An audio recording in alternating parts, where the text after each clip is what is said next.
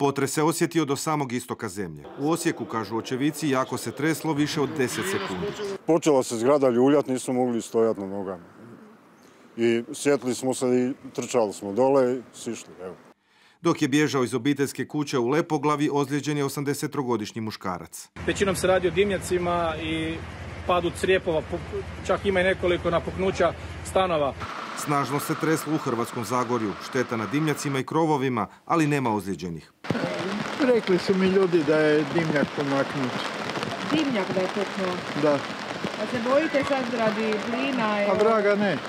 U središtu Bjelovara, samo srećom, dok su padale cigle, nitko nije prolazio.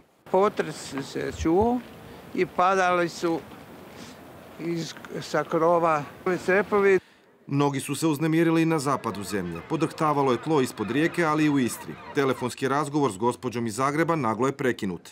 I naravno pala je linija ili ona spustila i ja se okrenem Silvi i kažem tajnici moja, kažem, gledaj, sad ćeš vidjeti kod nas. Nisam to ni rekao, evo, stol se ovako počeo ljuljati. U pomoć su se uključili Bad Blue Boysi kao i Torcida i veterani četvrte gardijske brigade. Pokreću akciju za Sisak i Petrinju. Gradonačelnici Zadra, Šibenika, Splita i Dubrovnika otkazali su novogodišnje programe, a 150 tisuća kuna odmah su uplatili za pomoć Petrinji. Dogovorili smo se da ćemo obustaviti sve novogodišnje programe, tako i vatromete, jer nije nikome do veselja.